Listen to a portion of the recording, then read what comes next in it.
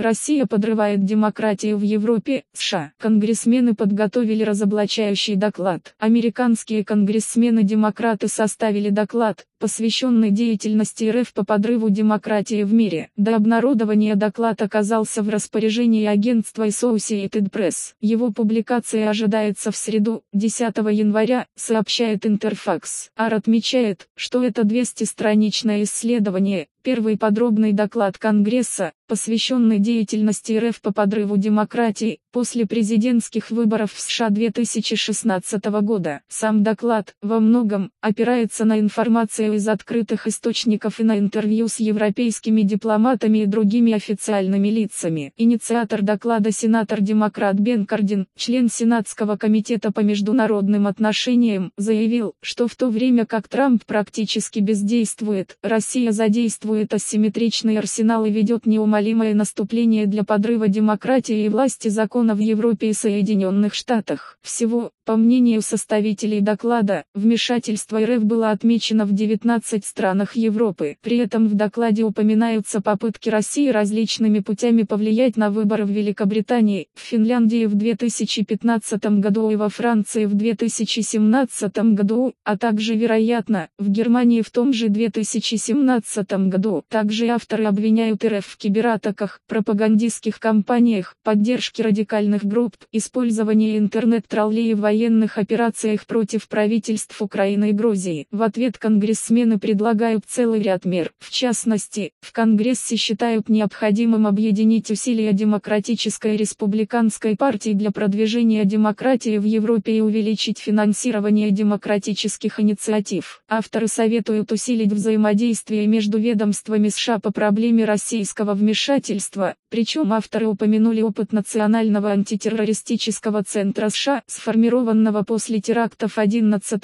сентября 2001 года. По данным ЭП, республиканцы из Комитета Сената по международным отношениям, включая его председателя Боба Каркера, не стали ставить своих подписей под этим докладом. Однако агентство отмечает, что ряд изменений в американской политике указывает на определенный интерес к содержанию доклада со стороны республиканской партии. Ранее Ранее в ЦРУ заявляли, что Россия пытается повлиять на выборы в Конгресс. Напомним, спецпрокурор США по России допросит Трампа по российскому делу. По материалам сайта Newsgro.com.